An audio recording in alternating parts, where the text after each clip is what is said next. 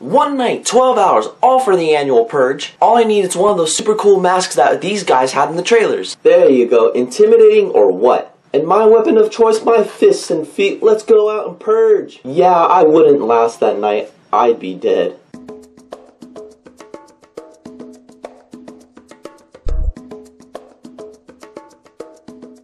Okay, so The Purge, Anarchy.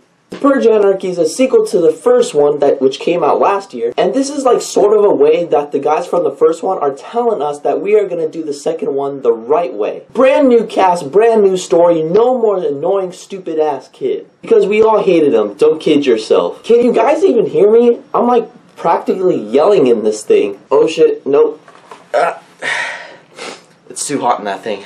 And when I was going into this purge, I was a little bit skeptical. Because how does a movie that came out last year get a sequel the following year? That that's not good. That spells bad news. So I went into this movie with an open mind. And how this movie started off, I was like, I don't know if I'm gonna like this. Because they're focusing on three different sets of main characters. They focus on a mother and daughter, and honestly, you don't really care about them. They focus on a husband and wife, and you still didn't care about them. However, they did kind of make me laugh. They're going through a breakup, and the husband's trying to act like Charlie Hunnam from Pacific Rim. He's just like, babe, don't break up with me. We're drift compatible. Bad impersonation? I know. And the next character they focus on is Frank Grillo. You know, the dickbag from Captain America the Winter Soldier. Which makes my poster in the back relevant. And honestly, Frank Grillo was the best character in the whole movie. But I really loved his character. He had layers to him and he was a really damaged guy. And he saw the purge as an opportunity to get back at someone who wronged him in the past. He's basically thirsty for revenge and you honestly cheer for him. Made me go like, you go dickbag from Captain America the Winter Soldier. Yeah, you end up actually liking him. And through a series of circumstances, these three different sets of characters, they meet up and they all have to survive the night together out in the city. A good 15-20 minutes is when the movie actually gets good. I was actually surprised. I thought I was gonna tear the shit out of this movie. The first one was like a stupid little home invasion movie, but no, in this one they are all out trying to survive the night in the city. I love that transition. It was sort of like going from Batman Arkham Asylum to Batman Arkham City. And Frank Grillo's Batman. However, they still stuck with the same CGI blood from the last one. The kills, they don't look good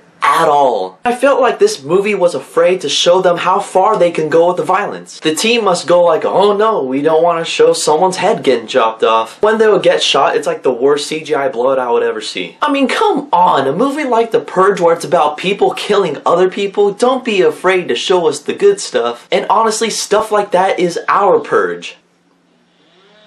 And the characters that Frank Grillo was set up with, I'm just like, you're gonna eventually get Frank Grillo killed. For example, a big giant 18 wheeler with full of bad guys and where the door opens from the back and there's a guy operating a machine gun. It comes around the corner and Charlie Hunnam clearly sees it from a distance. The husband basically. And he did what any other generic character would do. He just stared at it like,